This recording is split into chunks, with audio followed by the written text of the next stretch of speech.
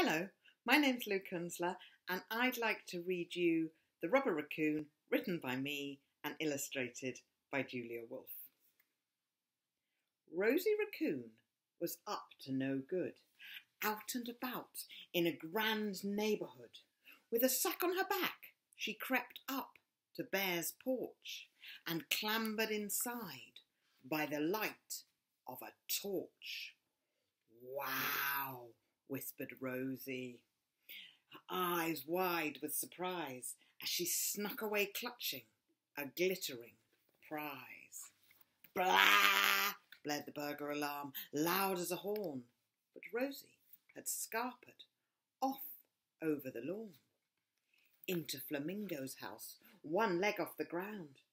Gracious, gasped Rosie, what treasures she'd found!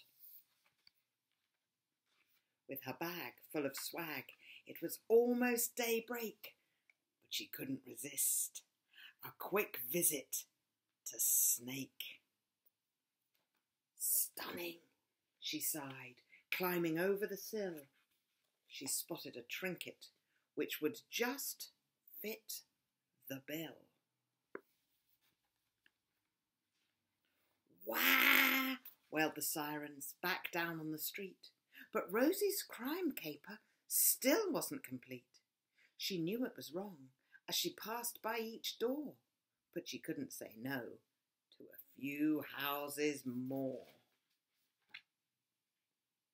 The police hunted Rosie, following her trail. They searched the whole city, hot on her tail. Caught you, you robber, cried Officer Skunk.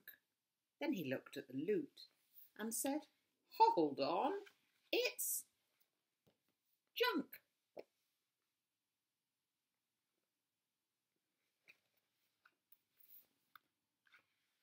Each crime scene was searched by the sniffer dog squad.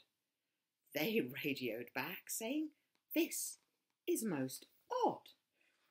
Rosie hasn't robbed jewels or pinched artwork worth billions. She didn't grab gold or nick banknotes in billions course not, cried Rosie.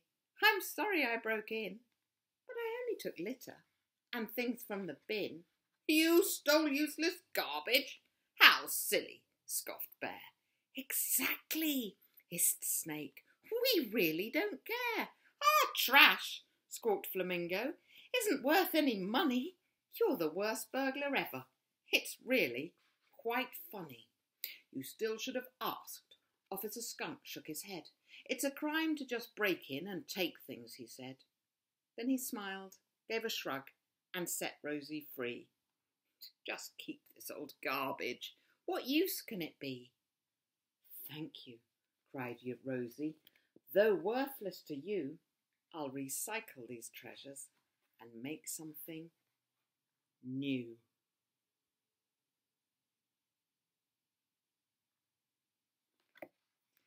Perhaps you could find some things that have been recycled and make a piece of art of your own.